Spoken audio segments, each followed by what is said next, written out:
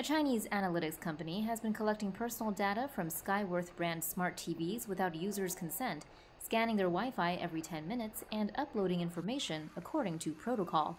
The practice was revealed by a user who noticed their TV was being slow and analyzed back end program code to find out why.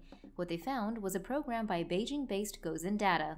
According to the user, the program not only tracked activity on Skyworth smart TVs, it also tracked smart device activity near the TVs. A Skyworth spokesperson in Hong Kong told Apple Daily that it denied intruding on people's privacy, saying instead that it collected user data to facilitate personalized advertising.